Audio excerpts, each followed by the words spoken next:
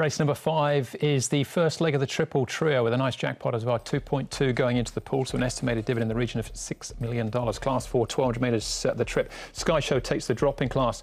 Drop in trip as well, down from the 1650. We got Lucky With You, All Beauty and Flying Dragon, who all ran really well on debut, finishing second, uh, the three of them. Good runner on debut, finished sixth to Blaze Warrior. I Believe in Magic makes his debut. We got Treasure Field, also ran well. Lightly raced behind Blaze Warrior, just his second start when he ran third and down to Millennium Falcon. Crusoe and Wagner Borges, he's yet to win or place in five starts so far as the cheek pieces come off. The key runners here as far as the speed is concerned, Mark. Lucky with you, Andrew. Outside the leader off a good pace, he's probably going to be favourite on his debut. He certainly is early. Flying Dragon, he's a bit close than his first start second behind Lucky. Quality up in distance as well. Sky Show's down in grade or get a perfect trip behind Circuit 7, who has improved but still needs to find a few lengths. Outside them, All Beauty was a runner-up on debut. He's three wide with some cover. We go back to Dragon Baby. He was lame on that seventh behind Murado last time. All right, we can start off that uh, form race itself then with um, All Beauty and Dragon Baby finishing second and seventh respectively, Paul, behind Murado. Yeah, well, I thought it was a really good uh, debut run here from All Beauty.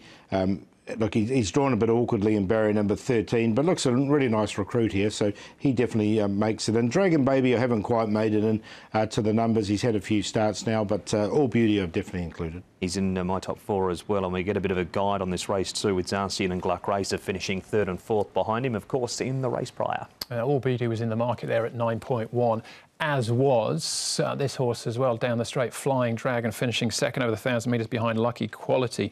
Mark, he went off at uh, 7.2. He did. I found a spot two for Flying Dragon. And the further they went, the better he looked. It looked like he was gone here at the 300 metre mark, but he gets going again and he finds the line. We'll have learnt from this too. Bit green, you can see Neil Callan hard at work and he responds to that hard riding. Millennium Falcon disappointing, Paul. He'll appreciate the uh, step up in distance, but just couldn't have him on that run. Yeah, look, he was right on the cusp again. Another one, uh, Flying Dragon, but didn't didn't quite make it in. But it was a good debut run, being by Per Incanto. The 1200 looks good. All right, another horse, just a one start under his belt. I'm sure we'll get interest here because he was so was money for him on debut. Is lucky with you, and he'll be ridden by Chad Schofield.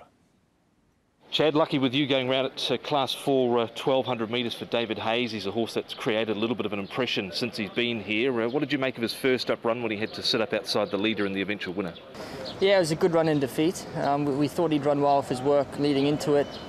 Um, you know, they, they, ran home in pretty slick sectionals, so um, after viewing them after the race, I was obviously initially disappointed he got beat, but after viewing the sectionals, it was a very good run in defeat. And, um, it looks like his recent trial, um, looks like he's progressed and come on, so um, looking forward to riding him.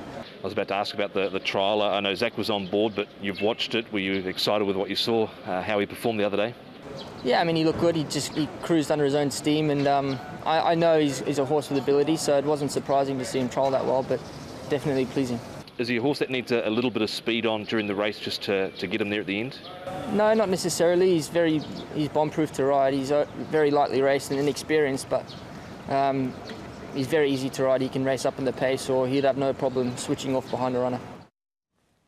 And he's our favourite as well, lucky with you on his second start. Does get barrier number 10, so that might make it interesting. But what do you think, Paul? No, I think he can win um, lucky with you. I thought it was a really good debut run from him. And as Chad said, those sectionals were pretty strong. So uh, with the natural improvement, he's definitely on top for me. The four, uh, the five, All Beauty, he went well on debut as well. Sky Show, um, he's coming back here to Sha Tin. I think he's a better horse here at Sha Tin.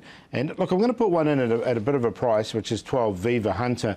You know, he trialled really well before his debut run at Happy Valley. He's had two runs at Happy Valley, but I think he's going to be a lot better suited here at Sha Tin. So I just wanted to put him in at a price. 4, 5, 1 and 12. Same top two as Paul, four to beat five. Really good debut by Lucky with you when you see the times, and the trial was excellent that we just saw as well. All beauty, nothing wrong with his first start. Likewise, Flying Dragon looked better the further they went. And Sky Show at the top, he's down in grade, he's drawn barrier one. He's back from the 1650 to the 1200 metres, but he has raced well in class four previously. Four, five, six and one.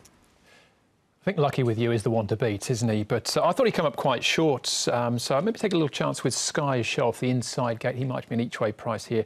Race number five, first leg of the triple trio as well, the fifth, class four over the 1200.